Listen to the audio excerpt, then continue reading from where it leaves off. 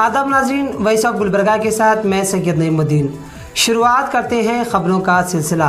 आइए नज़र डालते हैं आज की अहम सुर्खियों पर। मौसलाधार बारिश से यादगीर ज़िले के सुरपुर देहात में एक दरख्त गिरने से घर का छत मुनहदिम। गुलबरगा में दो प्लास्टिक कारखानों पर धावा 11 टन ममनू, प्लास्टिक की अशिया जब्त। दो चोर गिरफ़्तार, आठ मोटरसाइकिल जब्त। गृह लक्ष्मी योजना का अभी तक कोई भी दरख्वास्त फार्म जारी नहीं हुआ है। जो फार्म सोशल मीडिया पर वायरल हो रहा है, वो फर्जी है।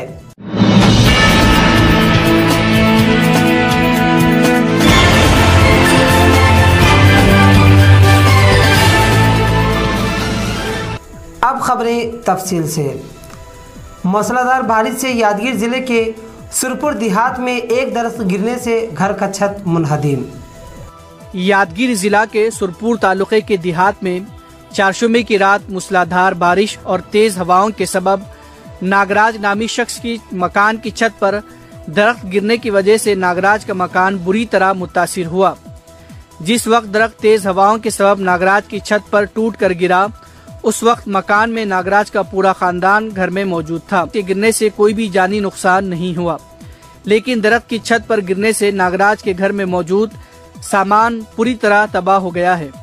जिला इंतजामिया को चाहिए कि वो नागराज के घर का फौरी दौरा करते हुए नागराज को इमदाद फराम करे। गुलबरगा में दो प्लास्टिक कारखानों पर धावा 11 टन ममनू प्लास्टिक की अशिया जब्त। गुलबरगा में दो प्लास्टिक के कारखानों पर धावा 11 टन ममनुआ प्लास्टिक की अशिया जब्त। Karnataka state pollution control board Gulbarga regional officer के अहदेदारों की टीम ने आज गुलबरगा में ममनुआ प्लास्टिक की अशिया तैयार करने वाले दो कारखानों पर धावा करते हुए ममनुआ प्लास्टिक की 11 टन वजनी अशिया बरामद कर कर जब्त कर ली गई। Kapnoor industrial area second phase में मोहम्मद गौसुद्दीन, वालिद मोहम्मद वलीउद्दीन के कारखाने में छह टन और रघुनाथ महता और इफ्तिखार के कारखाने से पाँच टन ममनुआ प्लास्टिक की अशिया जब्त कर ली गई। और इन कारखानों के खिलाफ क्रिमिनल मुकदमा दर्ज किया गया। जब्त की गई ममनुआ प्लास्टिक की अशिया oriental cement factory taluka Chitapur को प्रोसेसिंग के लिए रवाना किया गया।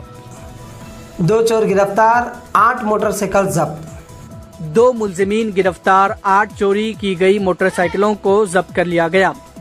शहर के मुख्तलिफ़ मकाम से मोटरसाइकिल चोरी करने वाले दो मुलजमीन को पुलिस ने गिरफ़्तार कर लिया है। शहर के मिल्लत नगर के रहने वाले शेख खाजा पाशा उर्फ़ सोहेल बाईस साल और बुलंद प्रवास कॉलोनी के रहने वाले रिहान पटेल 19 साल को गिरफ़्तार करके इनके कब्जे से आठ अदद मोटरसाइकिल जब्त कर लिए गए हैं, जिसकी जुमला मालियत चार लाख दस हज़ार रूपए बताई जा रही है। बताया जा सिद्धरनाथ नगर के प्रकाश पुजारी नामी शख्स ने अलन चेक पोस्ट के नज़दीक मौजूद उटी होटल के रूबरू पार्क की अपनी गाड़ी की चोरी होने की शिकायत सब अर्बन पुलिस स्टेशन में शिकायत दर्ज करवाई थी। इसकी शिकायत की बुनियाद पर डीसीपी ने एक खसूसी टीम तश्कील देते हुए कार्रवाई का आगाज़ किया कि जिसके नतीजे में मुलजमीन को गिरफ़्तार करके उनके पास से आठ अदद मोटरसाइकिल जब्त कर ली गई हैं। गृह लक्ष्मी योजना का अभी तक कोई भी दरखास्त फार्म जारी नहीं हुआ है। जो फार्म सोशल मीडिया पर वायरल हो रहा है, वो फर्जी है। इन दिनों रियासत भर में गृह लक्ष्मी योजना की बहुत चर्चा चल रही है। ये कांग्रेस पार्टी की गारंटी नंबर दो स्कीम है, जिसके ज़रिए पार्टी ने वोटर्स को अपनी जानब रागिब करवाने के लिए हर घर की खानादार खातून को दो हज़ार रूपए हर माह देने का ऐलान किया था। लेकिन हुकूमत आने के बाद अब ये स्कीम का निफाज हो रहा है। ऐसे में कुछ लोग एक फर्जी फार्म बनाकर आवाम से दरखास्त फार्म के नाम पर दो सौ रूपए ऐसी पाँच सौ रूपए तक वसूल कर रहे हैं। कर्नाटक कांग्रेस ने भी इस बात की तस्दीक की है कि सोशल मीडिया पर जो फार्म वायरल हो रहा है, वो फर्जी है। रियासती हुकूमत ने अब तक ऐसा कोई भी फार्म जारी नहीं किया है। आवाम को इस बात से बाखबर रहने की ज़रूरत है कि हुकूमती स्कीमात का कोई भी फार्म के लिए उस वक्त तक नहीं दिए जा सकते, जब तक कि हुकूमत की जानब से दरखास्त बाजाबता ऐलान न किया गया हो।